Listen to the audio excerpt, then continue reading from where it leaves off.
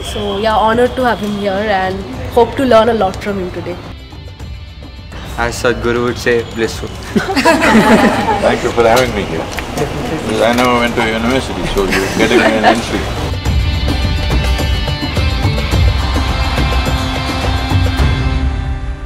Namaskaram, namaskaram everyone. Namaste, please. Good evening, Sadhguru. Uh, my name is Ayush Bhatt. I'm a second year MBA student here at IIM Bangalore. First question that I have for you is, so all of us here at IIM Bangalore, uh, we have been good at academics. That, that's how we made it uh, to this campus.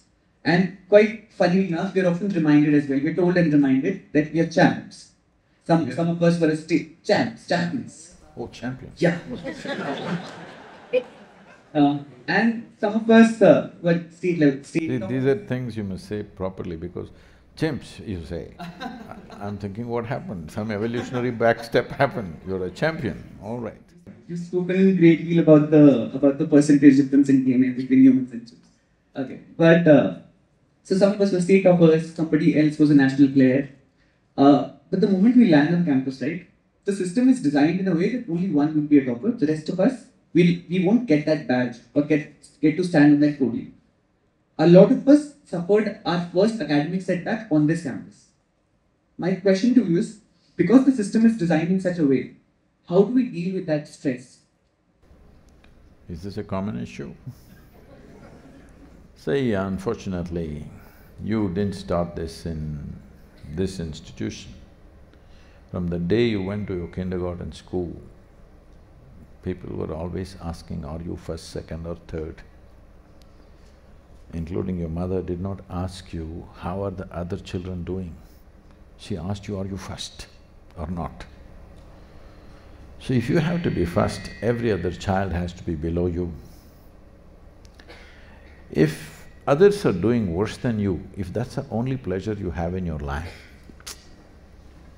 it's a very bad way to live. Well, we managed to do a few things with little force because we're in a competitive mode. Competition means uh, your whole thing is about doing little better than somebody else. It's a very poor way to live.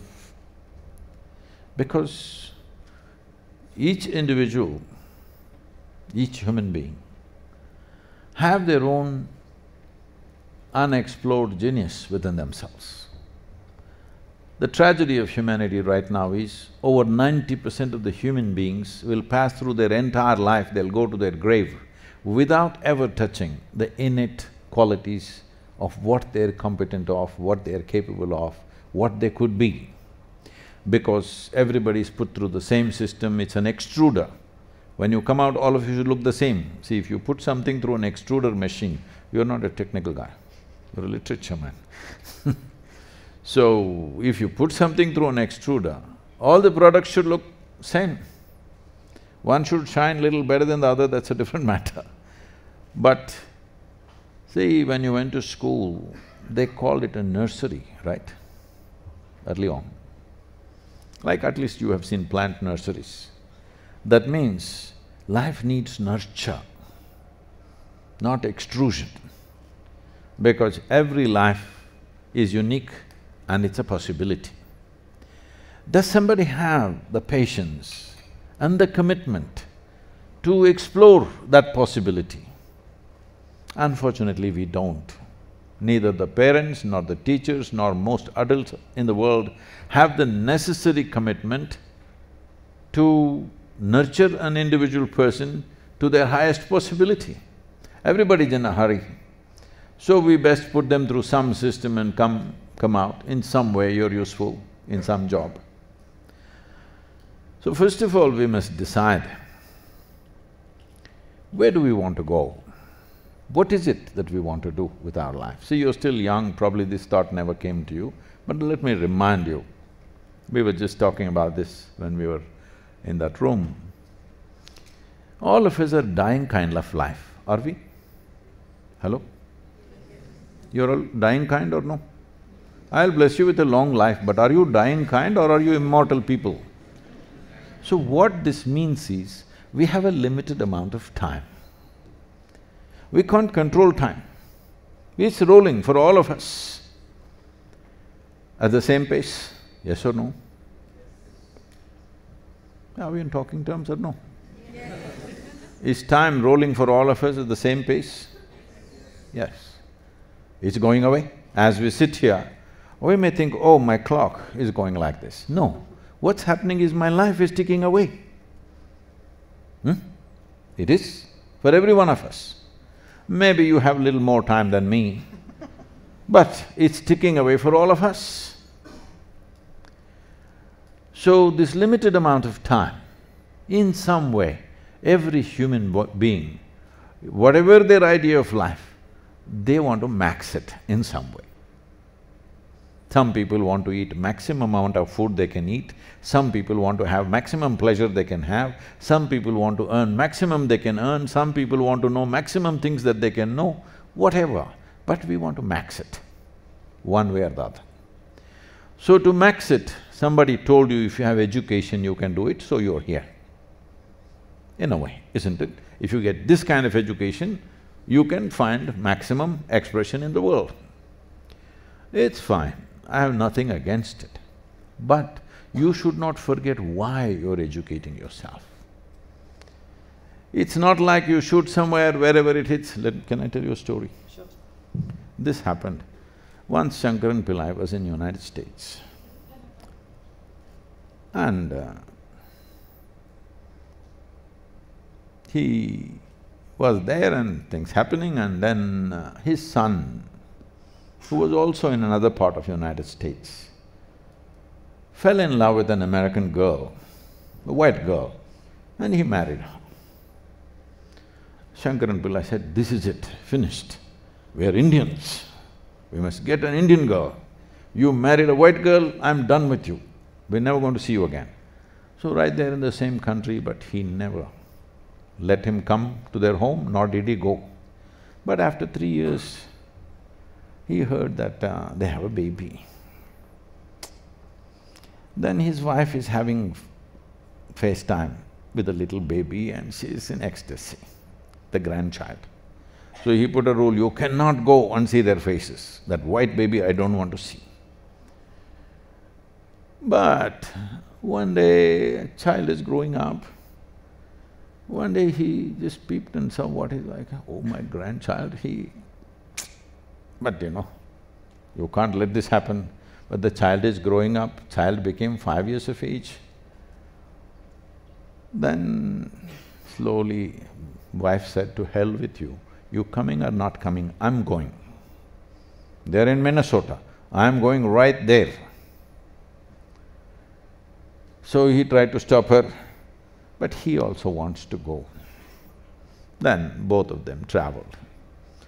So they were living on a large farm, the son and his wife and the little boy, who was about six years of age now. Then he saw the son, everything changed. Maybe that evil white woman, it doesn't matter, but this is my DNA, you know? This is how it works in India, please know So, he fell in love with the grandson only. Son and daughter-in-law grandson, total.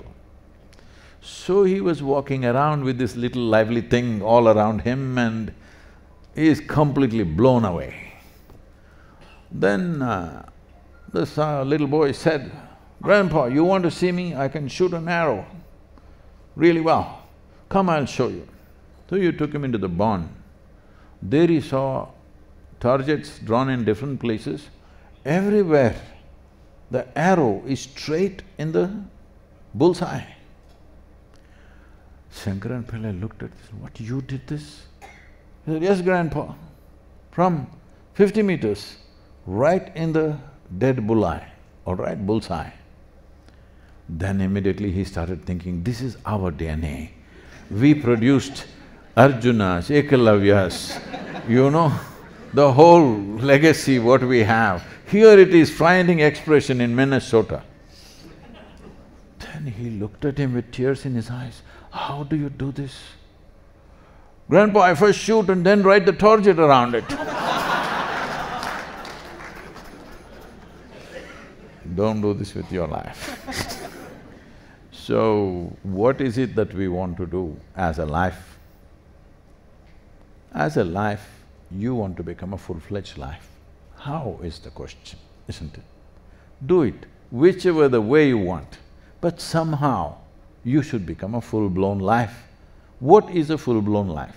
See, with every other piece of life, if you take a grasshopper or a frog or a tiger or a tree, we know what is a full-fledged mango tree, we know what is a full-fledged tiger, we know what is a full-fledged grasshopper, but we don't know what is a full-fledged human being.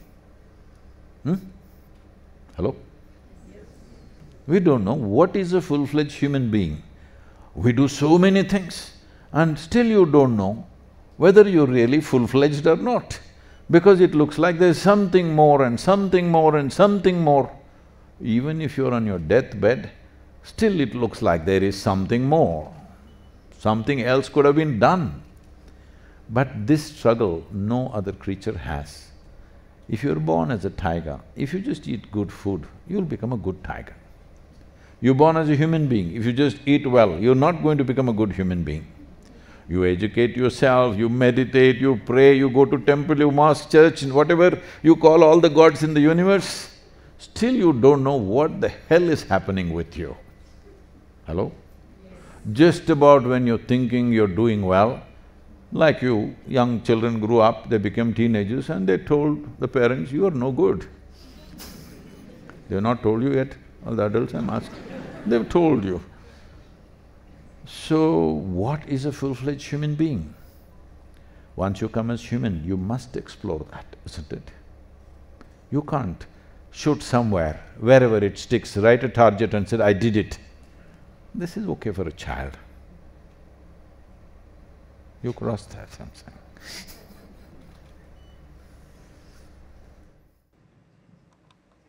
Namaskaram, I'm Wimbal Doshi, second year MBA student.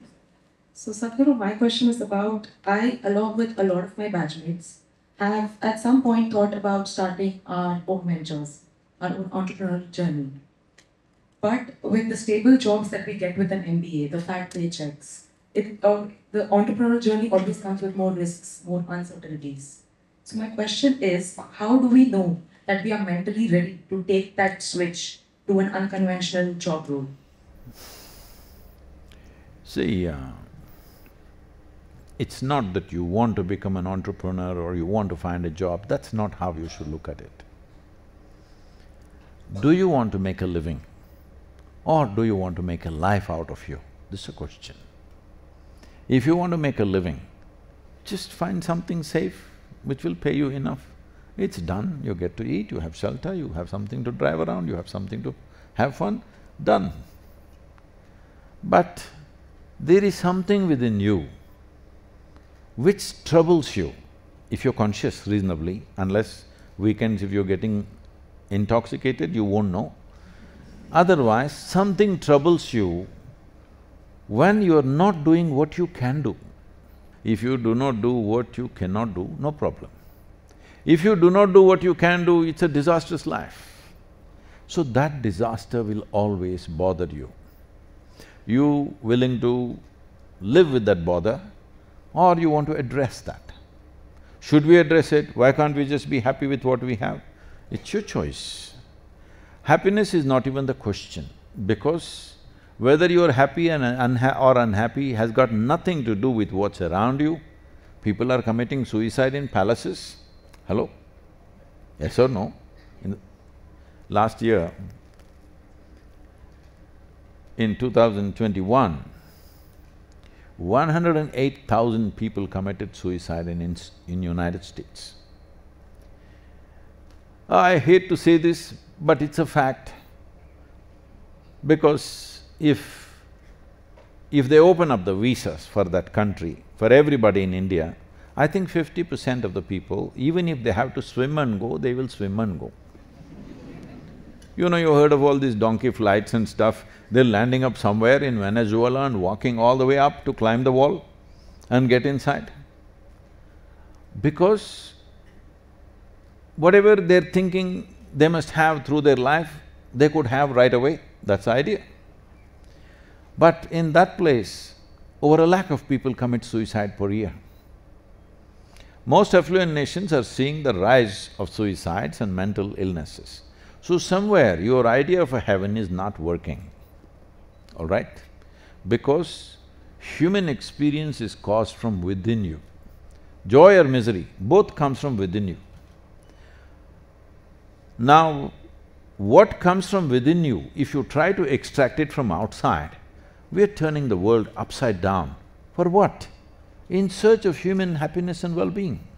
See, don't think some evil people are destroying the planet. No, no, no. It's good people in search of their well-being. We're turning it upside down. Now we see this planet is not enough, so we want to go to other planets and turn them upside down also. All this, if you want to turn… turn it upside down, it's your choice, I'm not against that. But you're doing it in search of your well-being, which will never happen that way. I'm concerned about the inefficiency, not the morality of it. There was a potato farmer. You know what's a potato farmer? So one day he suddenly got a desire to eat mangoes. He went in search of a mango tree, he found a good mango tree, and then out of sheer habit, he started digging, wanting to find mangoes. He dug and he found nothing, he became furious, so he dug furiously. After some time, the tree came down upon him. This is the human story on the planet. The question is not whether you're going to work here or you're going to start your own business or you're going to do something else. The important thing is, is there something that you want to contribute? Is there something that you think you can fill the gap? Because the world has so many gaps, right? Hello? Human life and the way human societies are structured, there are so many gaps. Suppose you saw a gap and you see that I can fill this, it's fine. But somebody is already filling it, you go and work for them. Don't make this a kind of a thing, am I an entrepreneur or am I going to work for a company? Address this in terms of, do you want to make a life out of this or are you interested in just making a living? That's a poor way to live.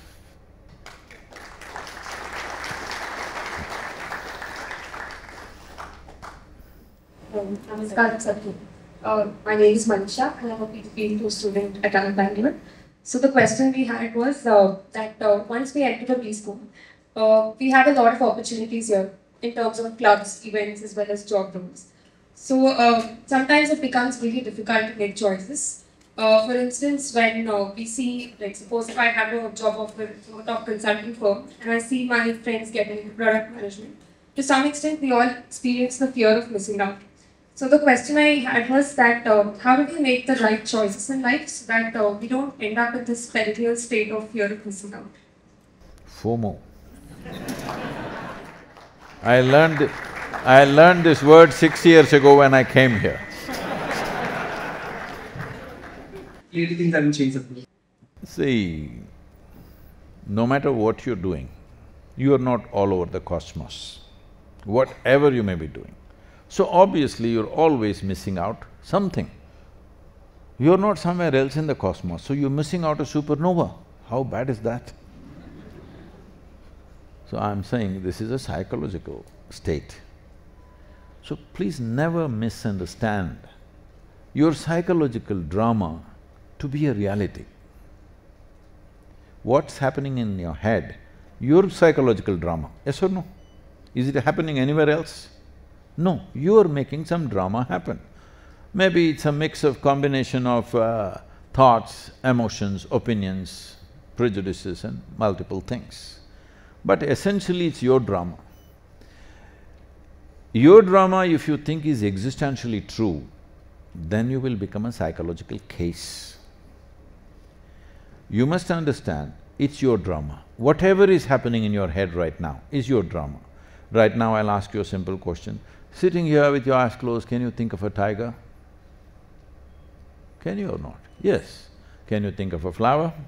Yes. yes. Can you think of a ocean, mountain, anything you want, right? Anything you have seen and recorded, you can replay it in some way. Choice. But if you give up the choice and become compulsive, something is happening, you think it's because of somebody or something. No, no, no, it's your drama.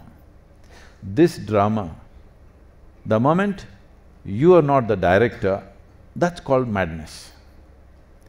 Different people are at different levels of socially accepted madness. Some are accepted. If it isn't… you're in accepted level of madness, you'll be in this institution. If you cross that, there is another institution close by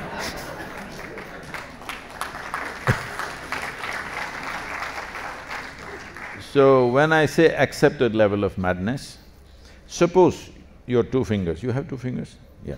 Suppose they start poking your eyeballs, what would she do? If she is concerned about you, she will hold your hand, why are you doing this? If it doesn't work, she'll call two more people and say, tie her up, because otherwise she'll pluck her eyeballs. That also doesn't work, what do we do? We take you to your doctor. Maybe they sedate you, doesn't work maybe we'll have to amputate you. This is the progression of life which is anyway happening to people.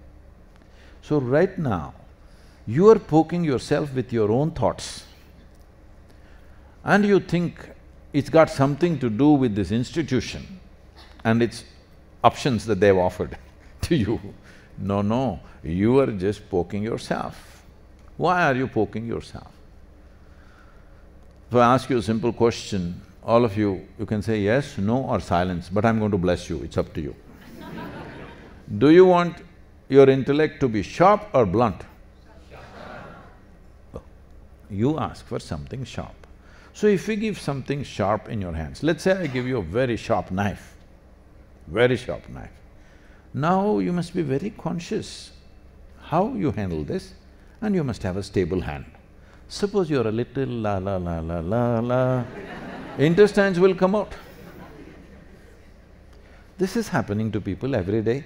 Their own thought is cutting them into pieces. Yes or no? Their own thoughts and emotions are cutting them into pieces, destroying them. Right now, one of the biggest concerns on the planet right now is mental health pandemic. We are working to mitigate this by creating a certain solution. If you're interested, we'll take you into that. This is called as miracle of mind. This mind is the greatest miracle we have on this planet. Do you agree with me? Yes. Human mind is the greatest miracle on this planet, what it can do. See, you look at a spacecraft and think it's fantastic.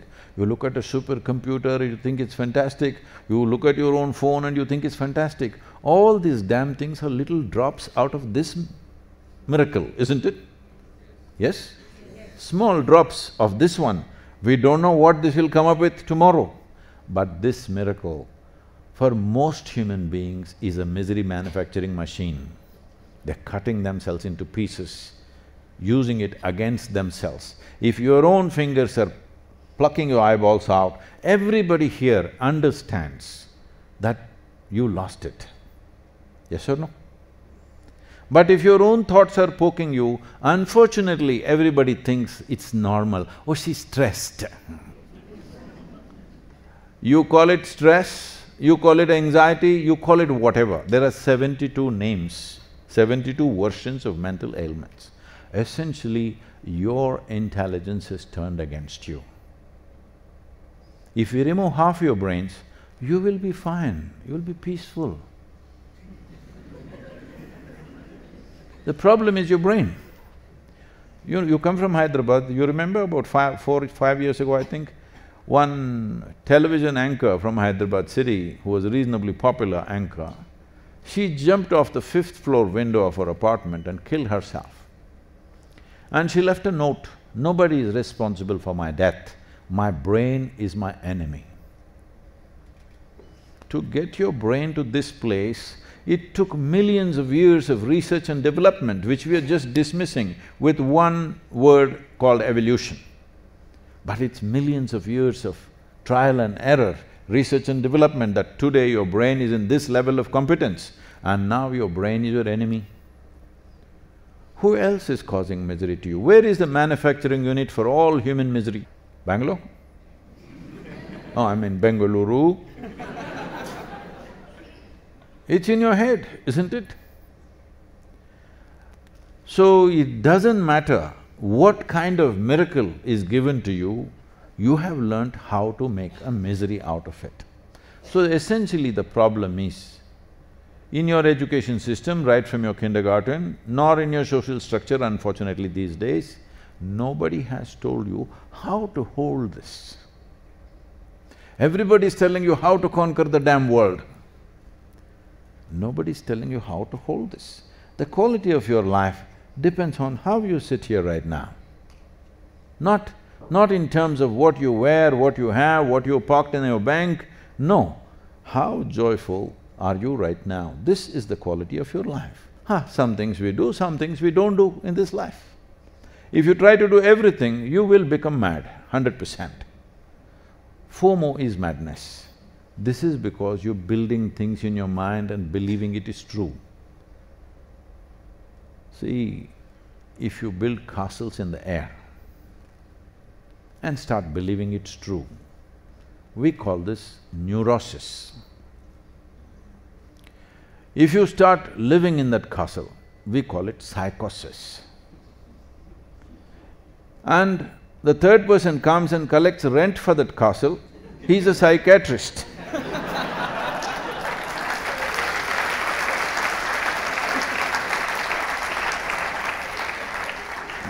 Don't do this to yourself. Among the institutions that we have in this country, you're among the best institution. Don't complain about a damn thing. I'm not saying everything is perfect in this place, there's no perfect damn place in the universe. Everywhere, there are pluses and minuses. It's for you to either pick pluses or minuses. If you're thinking there's going to be a perfect place, you're going to die disappointed. There is no perfect place anywhere. Ah, we can strive to get it better, get it better, but we will never get it perfect because always something better can be done. That's the beauty of life. Always it can be done better than the way it's being done, isn't it? Guru, my next question. So my next question is about leadership. As leaders of tomorrow, we are well aware that we'll be dealing with a lot of stressful situations. Uh, wait Being in the top hierarchy, there'll be a lot of stressful situations, tight deadlines that we'll have to meet. This might give rise to a lot of negative emotions as well, like unresolved anger, jealousy, greed. So as leaders, when people look up to us tomorrow, how do we deal with this negative emotions such that it doesn't hamper ours or also our team's performance? See, uh, in life there are many situations, situations and situations. Have you seen in the same given situation, one person is stressed, another person is breezing through joyfully, have you not seen any number of times? So no situation is stressful. A situation is simply there. It's for you to stress or not to stress. If your choice is you must stress, all the best. But why are you making such a choice? Is it something that you enjoy? No.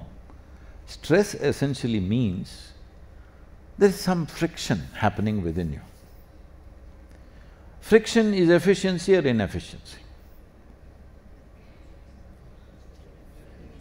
In any machine, friction is efficiency or inefficiency. You're calling yourself a leader, why are you looking for friction? It's inefficiency. Will we achieve some perfect level of efficiency ever? No. We are always striving. Always striving to get it better, get it better, get it better. But this is the nature of human intelligence and human existence. However you do it, there is a better way to do it. Still, isn't that the most beautiful thing? If there was a perfect way to do it, you did it and after that what the hell will you do with your life? It doesn't matter how you do it, still there is a better way to do it. This keeps you going. Now, the moment you name a certain situation as stressful situation or another situation as a blissful situation, you will get enslaved to that blissful situation. Out of that, you will breed cultures like, thank God it's Friday. what is happening on Friday, Saturday, Sunday, disgusting stuff is happening. Hello?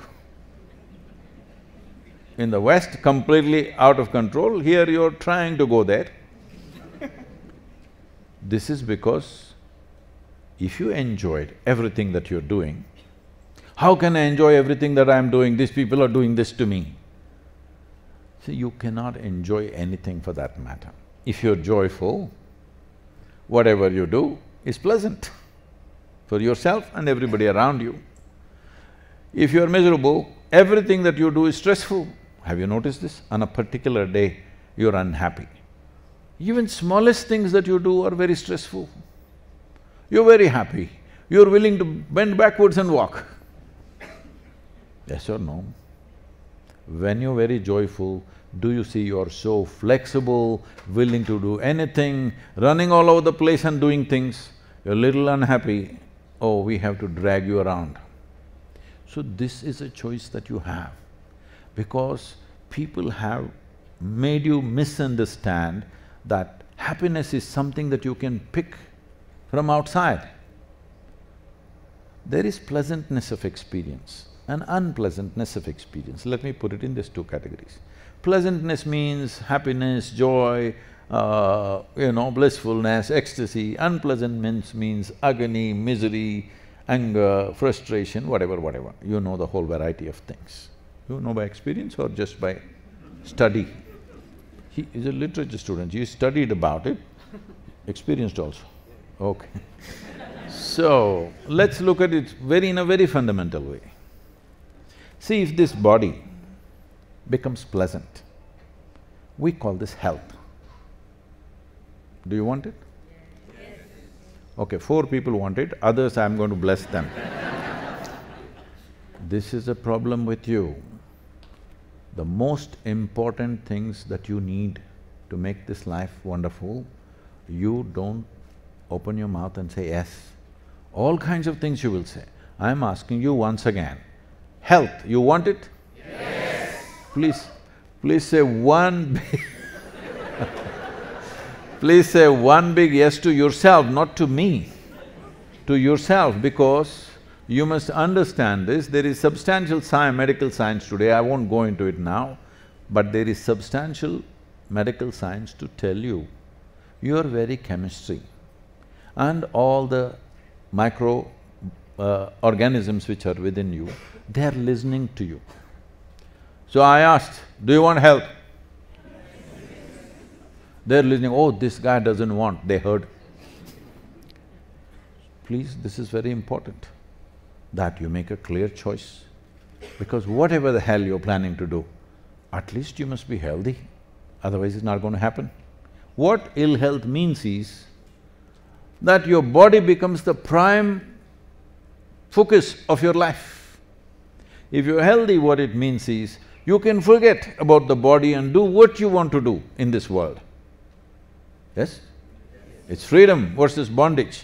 The moment this becomes unhealthy, there'll be only one thing, tending to this. It will not allow you to do anything. Health? If this becomes very pleasant, we call it pleasure. Hey, clearly tell me, huh? don't be shy about it. Yes? If this mind becomes pleasant, we call this peace. Yes. If it becomes very pleasant, we call it joy. Yes. If these emotions become pleasant, we call it love. Yes. If it becomes very pleasant, we call it compassion. If your surroundings become pleasant, we call it success. So to create pleasantness of the body, pleasantness of the mind, pleasantness of the emotion and pleasantness of your energy which is called as blissfulness and ecstasy, all these are one hundred percent your business. Only to create pleasantness in the situation, you need the cooperation of so many people and so many forces. That is subject to various realities. But to keep this body pleasant, mind pleasant, emotion pleasant, energy is pleasant, is one hundred percent your business.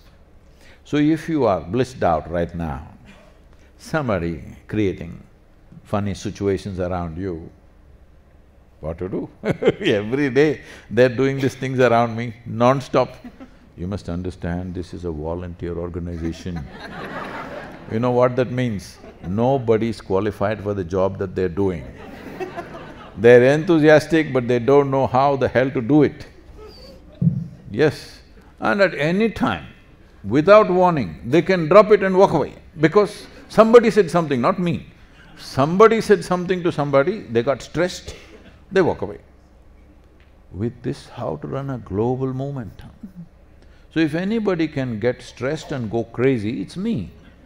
But that'll not happen because what happens within me I have kept these privileges to myself.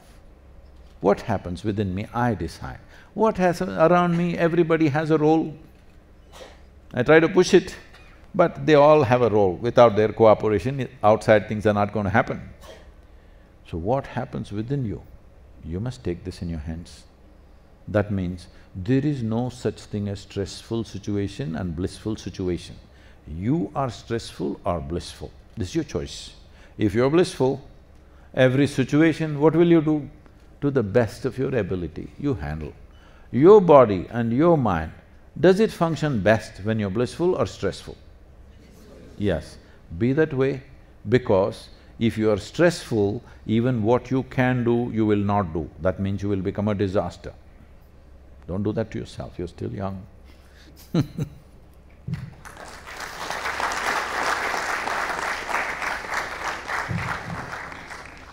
So, uh, I want to talk to you about the idea of uh, detachment. So, yeah. What happened? I try to take you away from all what? the stress questions. Who is that girl? What did she do to you?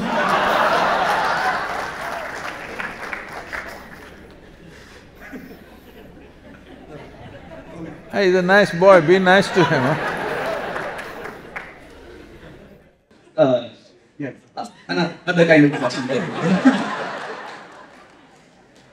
detachment. Alright, um, so 50, 60 years back, especially in India, right?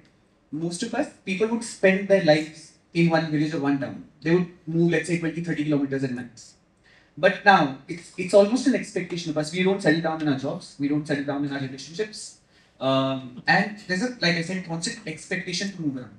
Here also, so in a month's time, we'll get our degrees and the next day we'll be asked to move out of the campus.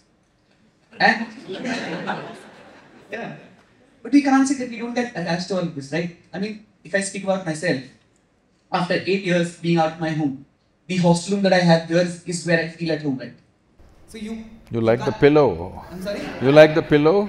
Uh, yeah, uh, but yeah, I'm just trying to get to the idea of attach. You do get attached to all these things and then it causes pain. So how, how do we stay detached to all these things? Wow.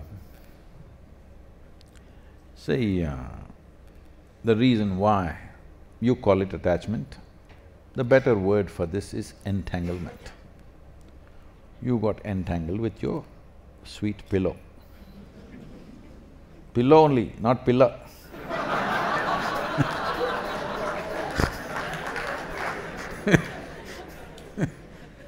with anything. You sit on this chair for three days and after that you can't leave this. So this is happening because your involvement with li life is so constipated. It is only with this, this and this. You only involve yourself with what you think is mine. I'm going to ask you a simple question. Is this body yours? I think it is, yeah.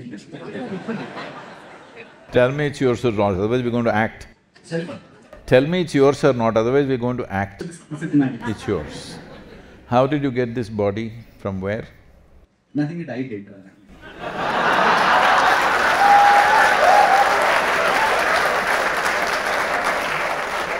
No, no. You were not born like this, am I right? Yes. Yes. So, so what was this big body became this big how? Food that you ate. The food that you ate, where did it come from? From the planet. You ate from Mars or only here? Only here.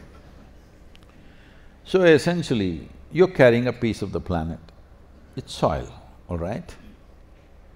Either if you realize now, you will do wonderful things with your life, or one day when they bury us, we'll all realize. Then it's of no use to you, but it's good for the world, you make good manure. All human beings, however good or nasty they are, they make good manure. Yes, everybody. So without exception, we will be good to the world when we are dead. But the important thing is now how this life happens. So it is true that this body you gathered from the soil. So, is the planet also yours, I'm asking? I'm, I'm a part of it, yes. No, no, is it yours, I'm asking? It's yours. The solar system is yours. So, there's only one correct answer and I assume Huh? There's only one correct answer here, I assume. What is that? I'm saying there's only one correct answer here, I assume. What is that? Uh, I think, I think, I think I should say no. You can say whatever. See, uh, this is not some kind of an argument, we're just exploring something. Because never see a question in your life, do one thing. A question is a very precious thing, don't waste it. Question is a tool to dig a little deeper. Question is not about proving that you're smarter than somebody. If you don't use the question to dig deeper, you will never go deep enough in your life. Every question that you ask, see if it is going to take you to a little more profound understanding of what's happening around you. Right now, is it true you're ca carrying a piece of the planet and you're calling it mine? Yes. Yes. How many places fr from where it came you do not know? As you're breathing, from how many places this air is coming you do not know. So I'm asking, is this planet yours? Yes. It's yours. This planet cannot exist in isolation, it has to have a system which we call a solar system. Is that yours, I'm asking? Yes. Yes. So, your involvement unfortunately is very prejudiced. What you think is yours, only with that we are involved, rest you're uninvolved. See, if you see your friend, he he he, if you see somebody else, because of this you suffer, and you must. Because of very constipated involvement with life, you get entangled. With everything that you touch, you'll get entangled. If your in involvement was indiscriminate, because you breathe, whatever comes from anywhere you're breathing, right? Your body has no discrimination. Here, there is a man or a woman sitting here who is your enemy. What they exhale, you inhale, your body has no problem. But if you look at them, then your mind will resist, it doesn't want to breathe. So this prejudice is what you're suffering. You calling it some spiritual stir nonsense, that you say this is attachment, this is detachment. Unfortunately, everybody is accusing Krishna of talking about detachment. Look at his life. He is a man of involvement, yes or no? Hello? Whatever little you know about his story, does it spell involvement or detachment? Please tell me. Involvement, super involvement.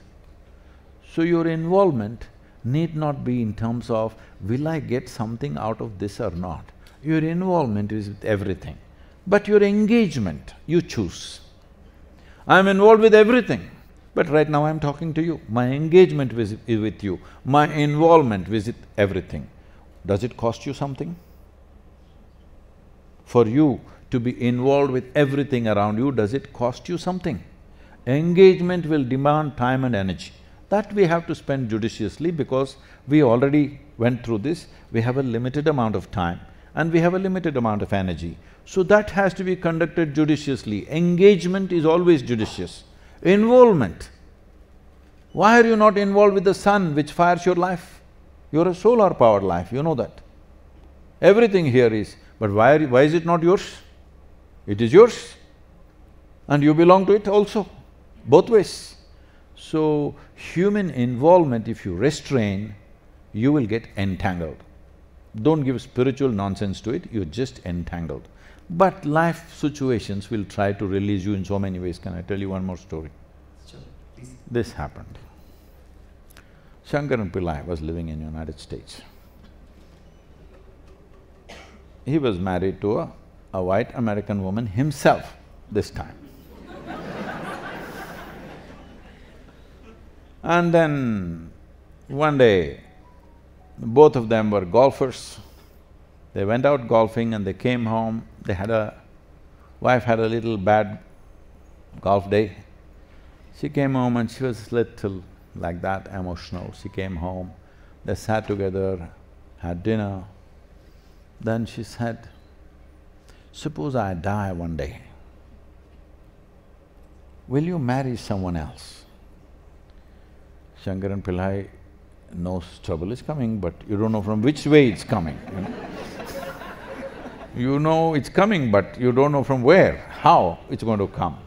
So he said, uh, yes, suppose I'm alone, what am I supposed to do? Yes, I will get married, what else to do?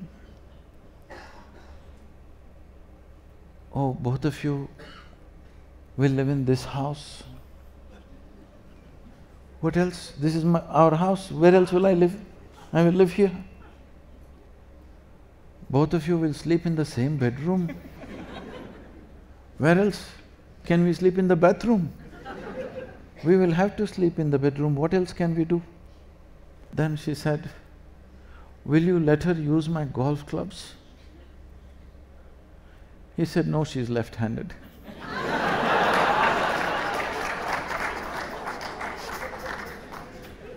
Life will detach you many times. If you're getting too attached, it will release you, don't worry. But don't wait for life to teach you a lesson, because life will teach you lessons in many hard ways. It's best. Being a human being, you're conscious, you don't have to go through what everybody goes through. Sitting here, all the lessons that people did not learn in last ten generations, you can learn right now, sitting here in ten minutes. Yes or no, if you're willing. If you keep yourself consciousness, conscious and alert to what's happening within you, you in, in ten minutes or an hour's time, you can figure out all the things that your parents and their parents and their… your ancestors struggled with. You can come to a place where you don't struggle with those things anymore. Possible or no? Please do it.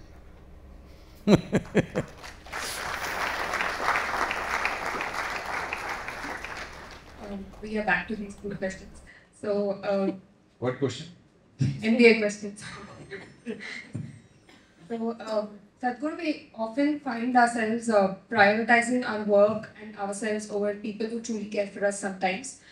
Uh, some of us don't find the time to reply to our friends who are outside campus or attend some family events.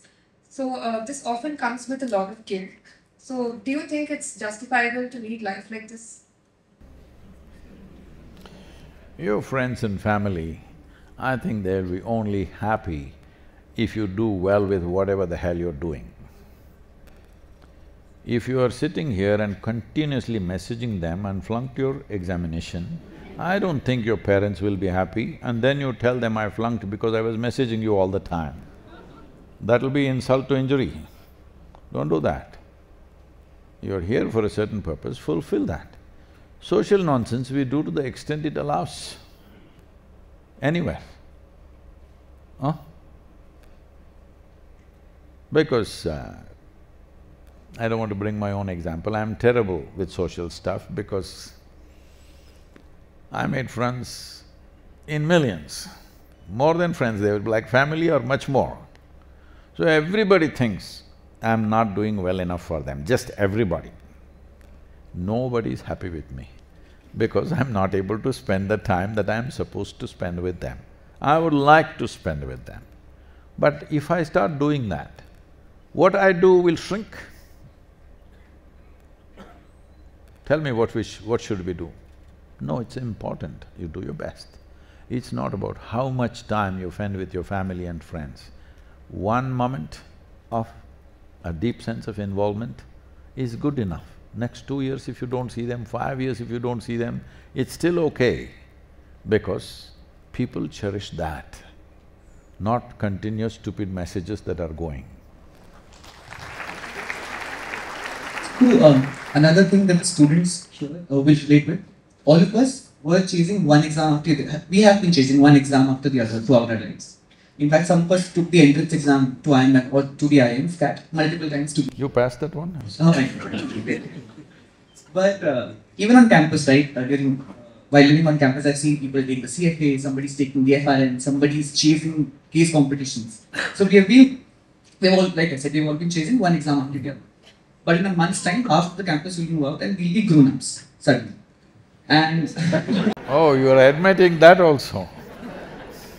and uh, will be expect so the question is how do we find a purpose in this no exam paradigm that we'll be in uh, once we move out of the campus? Oh, you're gonna miss it, that's what you. I've, I've learned. So what you… what you have been struggling with, you're going to miss it. No, I, I won't miss it, but then the idea is too many of us are used to uh, this paradigm, right? Chasing one exam after the other, one thing after something after, one after the other. Right? Once we boom out, move out, we won't have anything to look forward to except, except for our jobs, right? We, we do have our jobs and it does give us a sense of purpose.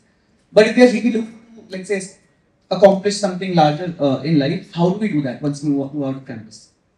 When examination is approaching, you're not bursting with joy to find expression to all the knowledge you have. Yes. No. Yeah. But if there is no exam, you're going to miss it.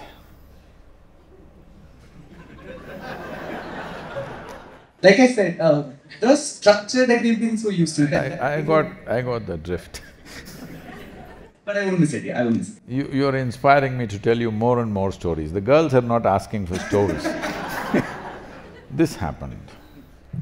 One day Shankaran Pillai had a gala fight, gala fight with his wife. See, these things may happen. He had a gala fight with his wife and uh, in… late in the evening, he not able to bear the fight because the… the debate at home normally he loses and he can't come to terms with it, so he walked away. Enough of this, I walked away. Whole night he loitered all around, early morning, five thirty, some breakfast place opened. He went there. Uh, the server came and, Namaskaram, sir, what do you want? He's in full spirit. But Shankaran Pillai is like this. He said, I want cold and hard idlis. I want sambar with excess salt and I want a coffee which is weak and cold. Said, why sir, why? Flour like soft idlis, wonderful sambar, hot and strong coffee I can serve you. Said, you idiot, you think I've come here because I'm hungry? I'm missing home.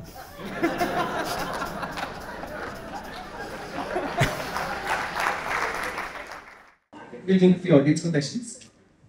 Namaste Sadhguru, I'm blessed to see you on my 21st birthday, that's Oh, today. okay. Oh. I'd like to ask you if uh, cinema could be a medium for uh, spiritual exploration. See, cinema, as it goes, is one of the most powerful mediums even today, most impactful. Why is it television not as impactful as cinema? Because in cinema, the biggest advantage is the lights are off.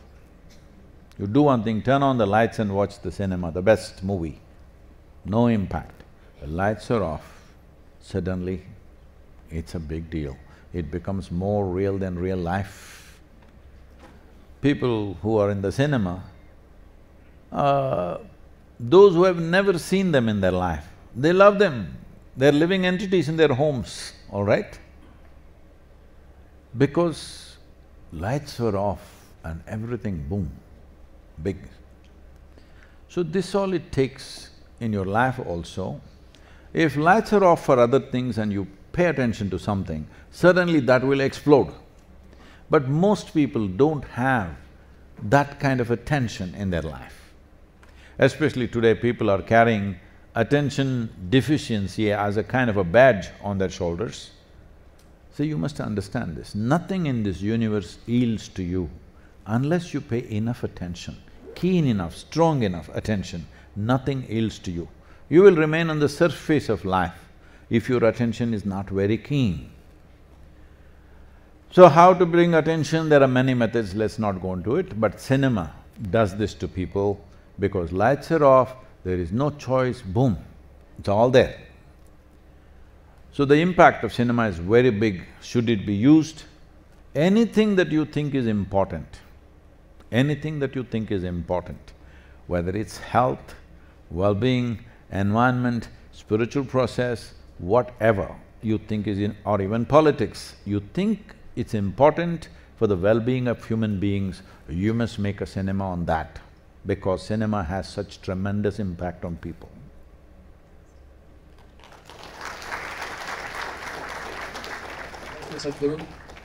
So sometimes it, it happens that we are, although we are blissful from the inside, when we start thinking about our long-term plans, those plans gradually they, they change into overthinking and then they, the situation turns stressful. That leads to procrastination. So how do we know where to draw the boundary that, okay, now this is going into the overthinking territory and I should draw a line? See, uh, I'm seeing these days a lot of young people are using this term, Sadhguru, how to stop overthinking? There is no such thing as overthinking. I think human beings are not thinking enough. What is overthinking? Human brain is made in such a way you can sit here and think about one hundred things at the same time. But right now people are teaching you think one thing at a time. Oh, you should have been an earthworm. It's very… don't laugh, it's very eco-friendly. Or maybe you could have been a frog, you could at least think of two things at a time. With this brain, if you think one thing at a time, you're wasting the possibility of being human. Because there is so much friction in your head, now you think one thing itself is freaking me, if I think ten things, what'll happen? No, no, you must geometrically bring some congruence into this. When I say geometry, you must understand all physical creation has a certain geometry. You understand what I'm saying? Hmm? Many of you are engineers, right? Hello? So, every physical form has a geometry. Without geometry, there's no physical existence. How congruent it is, how friction-free it is, determines how a particular formation of objects function that goes for this. There is a physical geometry to this, there is a chemical geometry to this, there's an energetic geometry to this, there are various aspects of geometry. And our geometry is not individual. Our geometry is a consequence of the planetary system itself. Planetary system has worked as a potter's wheel to make this happen the way it is. If the planetary system worked some other way, we wouldn't be in this form, we would be in some other form, all right? So who we are right now is incongruence, but in how much congruence is the question. So when you start thinking about future or planning for future, lot of people are telling you, don't think about tomorrow, don't think about yesterday, just be in the moment. Hmm? All read this stuff these days? I'm asking you, please be somewhere else and show me, please. Hello? Can you be somewhere else? Anyway, you're in the moment. What kind of dumb teaching is that? Can you be somewhere else, you? Yes. You can be. All I mean is, uh, physically I'll be here and English. No, no, no, no, no. The, I got you. You're here, but you're thinking, let's say, of Mumbai. What's wrong thinking about Mumbai? What's wrong planning to go to Mumbai? What's wrong planning to go to moon? Oh, I'm here, so I should not think about anything. What kind of dumb stuff is that? So unfortunately, this is passing off as spirituality. Generally, most people's understanding, understanding of spirituality is, it is a disability. If you say, I'm spiritual, first thing they'll ask you is, what are all the things you will not do? No, no, if you are spiritual, you can do any damn thing without getting entangled in anything. Full 360 degree life. I can do only this, that's not spiritual, that's a constipated life. If you are spiritual, you should be different. Anyway, coming to this process, it is very simple. See, you are who you are right now as a person. You have a certain amount of memory. you have memory. You as a person, you are this person only because of certain kind of memory. What is the difference between this person and this person? Oh, this is one kind of memory, this is another kind of memory. Hmm? If both these people had exactly same memory, they would be the same chat GTP. Different kind of memory is what is making you different in experiences, different in opinions, different in everything. So, there is a memory. Using this memory, we will run a certain imagination. Because we have a vivid sense of memory as human beings, our life feels rich. We remember every tiny little thing. Somebody smiled at us, somebody did some little act of love or kindness to us, little little things, everything we remember. Because of this, if you didn't have this memory, you had just a vague sense of something, your life wouldn't be rich. So your life is rich essentially because of memory. But a whole lot of people suffer this memory immensely. You ask people what are they suffering? What happened ten years ago, they're still suffering.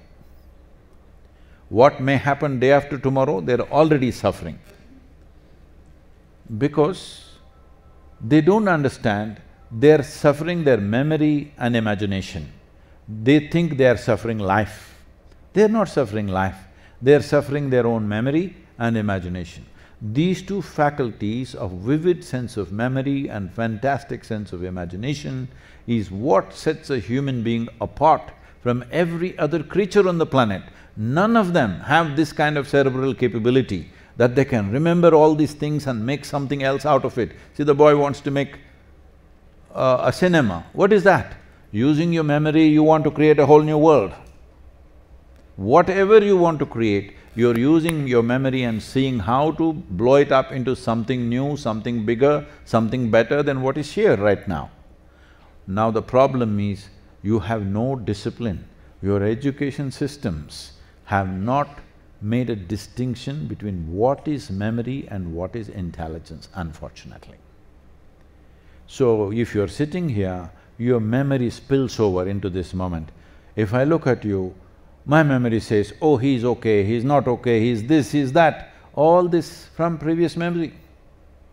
I'm not able to look at this human being just the way they are because my memory intervenes in everything. Once my memory intervenes, I can't control my imagination, what nonsense this person may do. But if you look at something, you must be able to look at it just for what it is, isn't it? Otherwise, you will miss life, you will just be recycling past. If you don't have this discipline, where is memory, where is imagination, where is the awareness of experience right now? If this distinction is not there, you will not live a life, you will just be a psychological case, but you think you're living a life. Your thought and emotion is not your life. This life is bigger than your thought. Hmm? This phenomena of life is bigger than your thought, bigger than your emotion, bigger than your ideas, bigger than your silly imaginations, whatever you have. You throbbing here as life is bigger than all that. Is that so? Is that so? In fact, that is the only thing you have in your life. Rest is all imagination. Have you ever been to a funeral? Somebody else's, not yours, no? Somebody else's funeral, you've been? You know that man is in perfect posture. You go and tell him, you know, you hit a lottery, hundred crores. The guy's not interested. You tell him, this woman, most beautiful woman on the planet that you wanted, she's right here for you. Not interested.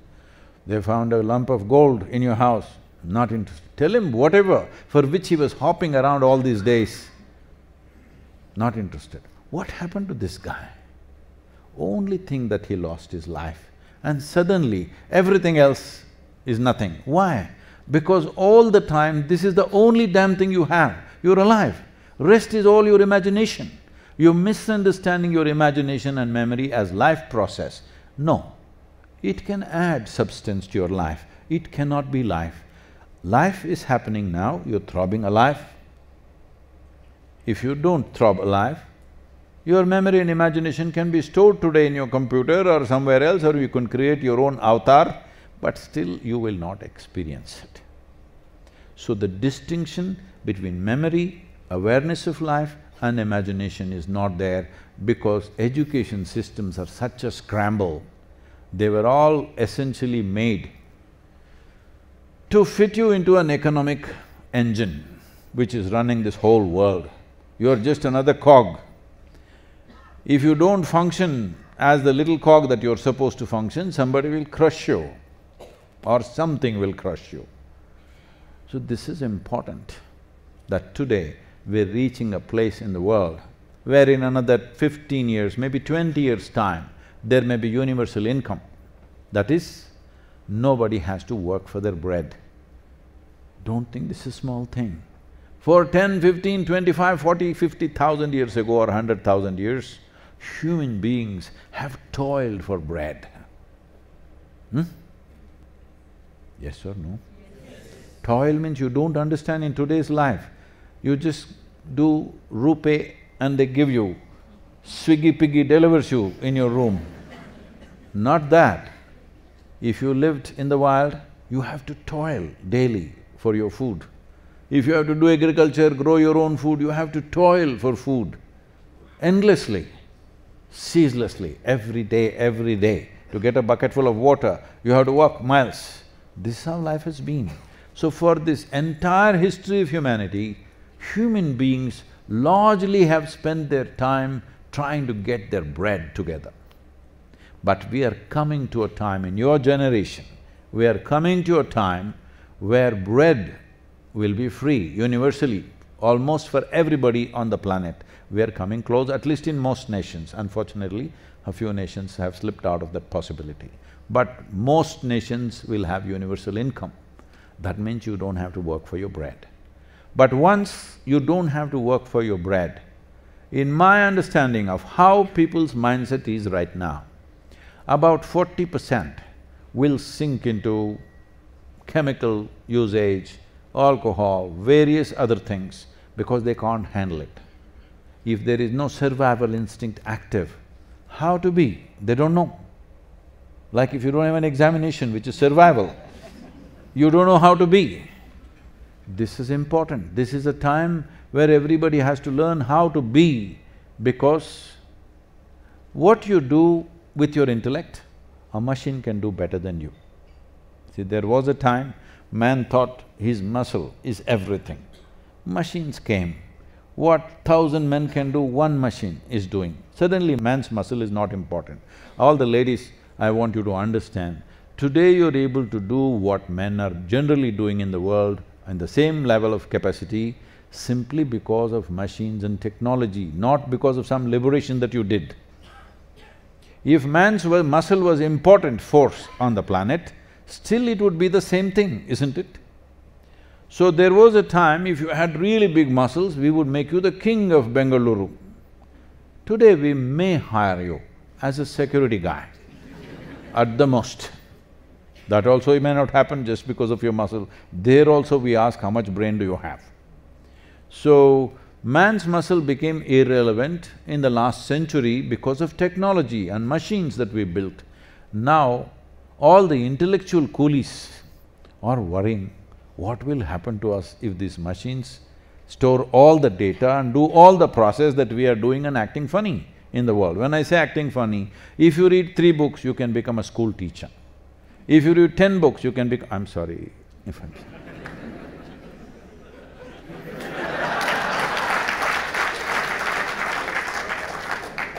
I don't mean an insult. If you read ten books, you can become a professor in a university. If you read just one book, you can claim you're the agent of God. This is the world you're living in, this has to change.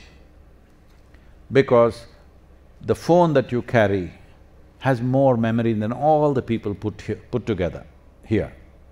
So, machines, once they start doing collection of data, process and expression, which they will do far more efficiently on a larger scale than you, then what to do with myself? No need to earn my living, no need to collect data. What to do? You must know, now you must prepare, otherwise you'll be obsolete in no time. It's very, very important. So you must first learn how to be. This is one thing the machine cannot do, how to be. See, you must understand your basic qualification is this. Your basic qualification is not MBA. First thing is, we call you HB, human being. We didn't call any other creature on this planet as a being.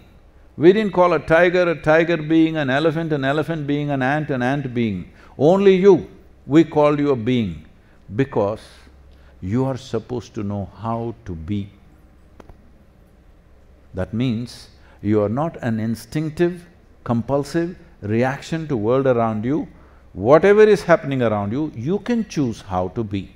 If you do not exercise this, then your memory is a problem, your imagination is a problem, this is a problem, that is a problem, everything is a problem. Tell me what is not a problem in the world. See, if you don't get admission into kindergarten, I couldn't go to school and you will suffer. You put you to school, see how much suffering. no job, you'll suffer. Get your job, so much suffering, people are getting blood pressure and killing themselves in the jobs. Poor people suffer poverty. You make them rich, they suffer taxes, they're breaking their heads about the taxes. Not married, they suffer that. Get them married, I didn't say anything. I did not say anything, okay? So, tell me one damn thing that human beings are not suffering.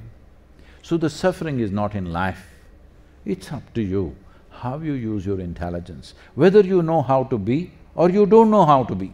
If you know how to be, would you be blissful or miserable? Choose. Blissful, of course. If you're blissful, whatever the situation, what is the problem? We will do what we can do. What we cannot do, we won't do. Hello? What we can do, we'll definitely do.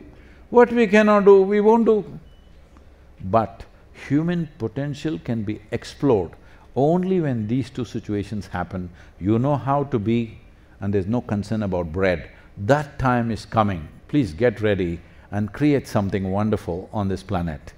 Don't become one of those slobs who'll sink into this and that nonsense. They're expecting, some of the scientists, responsible scientists in the world, I've been talking to a whole lot of neuroscientists, psychiatrists and others, they're all expecting somewhere between 2045 to 2055, twenty percent of the world's population could commit suicide. It'll become that hard to live for variety of reasons, I, let me not go into all that. One aspect is nutritional aspect, another aspect is this that your survival instinct is not on, you have no examination to take, nobody to fight with, don't have to go somewhere to get your bread. Bread comes home. Now you don't know what to do and you don't know how to be. If you do not know how to be, this wonderful time that's coming, which no human generation has ever enjoyed, that we don't have to work for our bread, that situation will go waste. They're expecting forty percent of the people will go into alcohol and drugs, twenty percent could commit suicide, another 10-15 percent will be insane in so many ways, 10-15 percent may start doing something fantastic because their genius will flower, because they have… don't have to earn their bread, they can use their intelligence from an early age into creating something. I want to make sure we increase that percentage at least to fifty percent of the human beings will be doing something fantastic.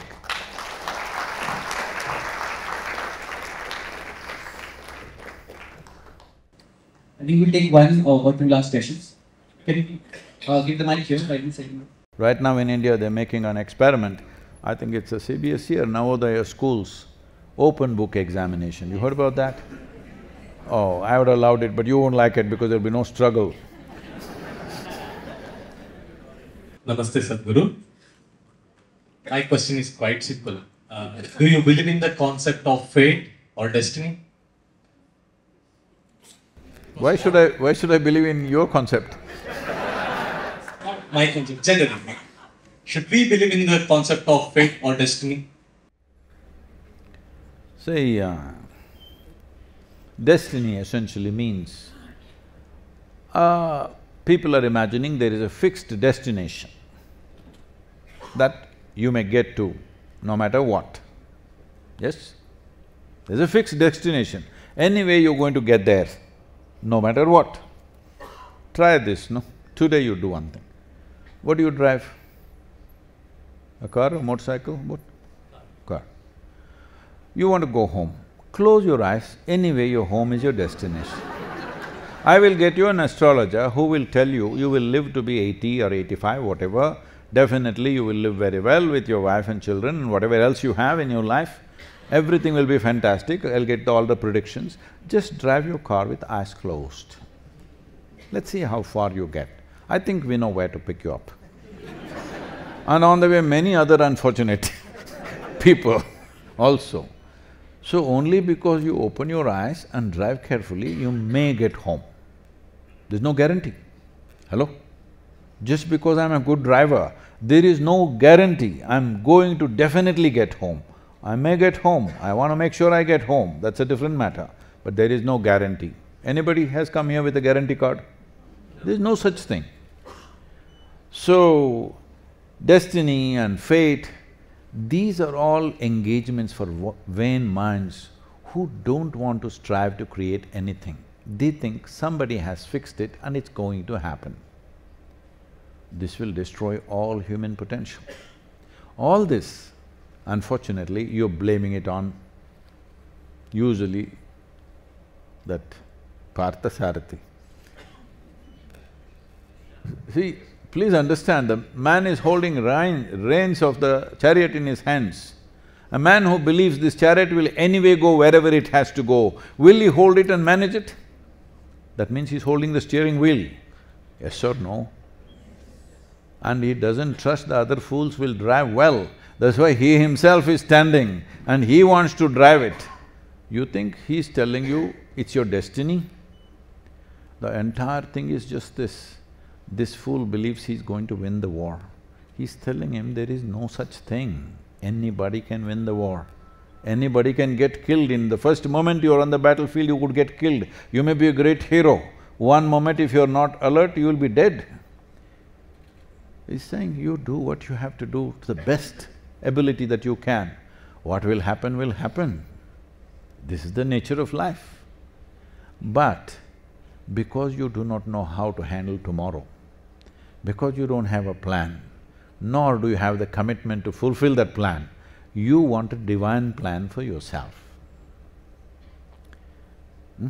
God's plan, essentially. Destiny, fate means God's plan. What the hell makes you think, if there is a God sitting up there, where is… where do you think he is? Up or down? Huh? Inside. Then you must do the planning and you must do the execution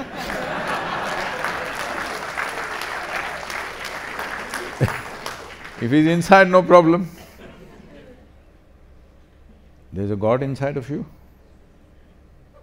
So let me settle this. because in this body, for any of you, in this body, is there only one person or two or three or whatever? Anybody more than one? If you have more than one, you're either schizophrenic or you're possessed. You either need a psychiatrist or a exorcist. Both need to be handled.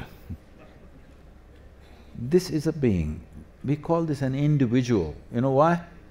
Because it's not further divisible. The moment you think this is two, your sickness has begun. You see, this is just one being. And now, if this is joyful, it's me. If it's miserable, it's me. If I get there, it's me. If I don't get there, it's me. This way you're empowered. If you think if I get there, I did it, otherwise it's my fate. Well, you have found a philosophy to sit on your backside comfortably and eat, but you have not found a way to trigger this life to the maximum possibility that it can be. You don't wish to do all those things, it's fine, but at least what you want must happen, isn't it? You give that up because you think it's not your destiny or your… this is your fate. This is just an explanation. See, people who fail in their life, they always have explanations. People who are successful, they have no explanation because they know it's endless striving, endless striving. There's simply no other way.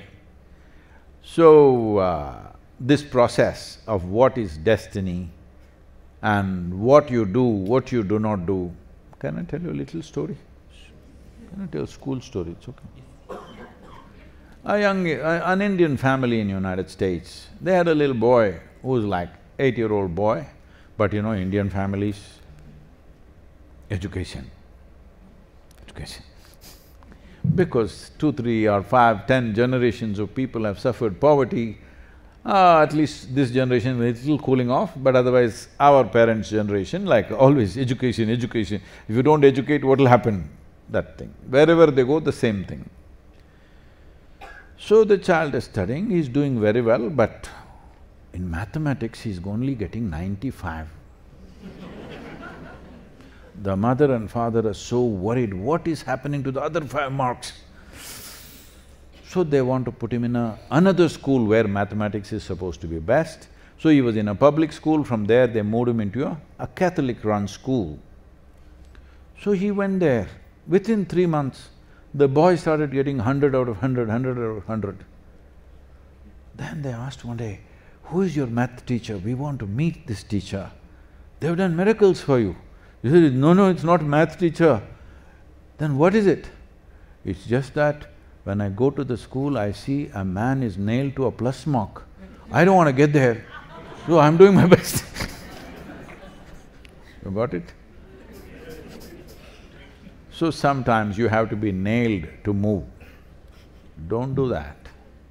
Nobody should whip you, no situation should whip you for you to be in full force. You must be in full force. This you will only do if you are joyful and exuberant by your own nature.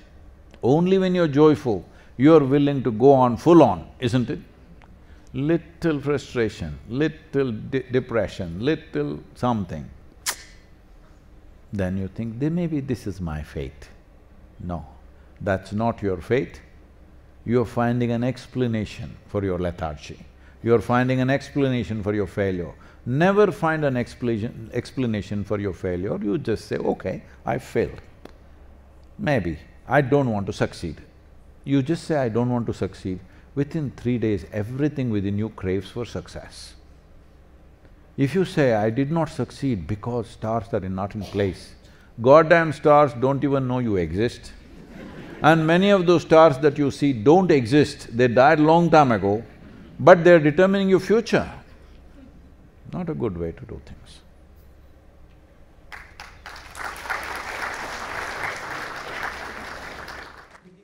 So I am from PGPEM and this is a program which uh, gives us an MBA for working professionals.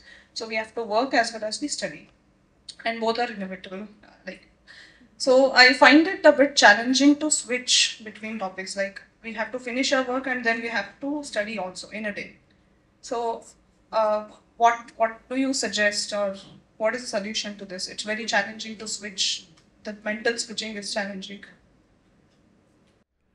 See, uh, instead of thinking in terms of study, why don't you think in terms of learning? You… you're here to learn. You're not here to study, you're not here to pass examinations, you're here to learn. Hello? This is an institute of learning, isn't it? So you need to change that context, you're here to learn. Can you do your work well if you're not constantly learning, I'm asking? Whatever you're doing, whatever it is you're doing, you're just repairing a bicycle, can you do it well if you're not constantly learning? Is a simple thing or complex thing. You must be endlessly learning, that's when you do those things well, isn't it? If this… being in this institute is about learning, working Learning will support working, but now studying, this is labor. To do that labor and also work, which is another labor, no, you should not work in this life. Don't work. Do what you want to do, hello? Do what really matters to you. When you're doing what matters to you, nothing is burdensome. If you're given forty-eight hours a day, you want it. Right now, there's an argument in the country, should we work thirty-six hours a week? And One of the very successful Bangaloreans said, seventy hours a week, everybody's protesting. I said, why only seventy hours? if you're doing something that you really love to do, why will you want to do it only seventy hours? If you are TGIF, then you're constantly thinking how to do less. See, this is the unfortunate reality of the marketplace which has entered every aspect of our life. If you go out to buy vegetables today, if you buy hundred rupees worth of whatever, let's say a pumpkin, for eighty rupees and come, people say you're smart. You paid less, you gave less and took more. This is being smart, isn't it? But if you go somewhere and give more and get less, people think you're stupid, correct? But you must understand the dynamic of life. In this life, your life will become truly rich when you're willing to throw yourself into anything that you're doing and you don't care what comes out of it, you're not even… you're not even focused on that. You're just devoted to what you're doing what comes will come depending on the quality of what we do. But you're not concerned about that. You're concerned that life is giving you an opportunity to do what you want to do. That's important. What you get, what will you do with it? You want to carry it on your head? This nonsense is only socially relevant. It's not relevant. See, right now, what is my bank balance? I have a million dollars. Where is it? It's only in your imagination. If I just take your memory out, I don't have to steal your million dollars. If I take your memory out, your million dollars are gone. Whole lot of people who kept their money in Swiss banks, this happened to them. They were writing their numbers in their underwears, but when the underwear is lost we know people like that. They were writing numbers in their underwear because that's the only place where nobody will see. But one day that got lost. Now all the money is lost simply because you don't remember the number. I'm saying whatever you think you have is not the point. The only thing that you have is… in your life is just this. Please look at this very carefully. How profound is your experience of life? How impactful is your activity? This is all you have, rest is all imagination. So in every moment of your life, whatever you're doing, how to make this a profound experience? See, any simple thing, you don't have to do something very complex. Like a little boy, yesterday I was at the cricket game, uh, the… the ladies' game that was… you know, the IPL is happening, the women's IPL. So I was invited, so I went there, I was just looking at this and I was just talking, these girls, uh, what is the minimum age for them to enter this? They said, no, they must be eighteen, whatever. But, you know, Sachin Tendulkar was playing test match at sixteen. Oh, those days are gone, now there are this, this, this. I said, why are they gone? See, this little boy, I've, I've sat with him and spoken to him. What did he do? This little boy just wants to hit the ball, hit the ball, hit the ball. He's not thinking of the money, he's not thinking of the fame, he's not thinking how to become a Bharat Ratna, all right? He's just hitting the ball, hitting the ball, absolute devotion to hitting the ball. I don't want to go into many stories, there's spectacular stories about him, how he did a few things. But he hit the ball so well in the end that we made him Bharat Ratna. Just for hitting a stupid ball? Yes, it doesn't matter how simple the activity, if you do it in an extraordinary way, you will be the jewel of this nation, all right?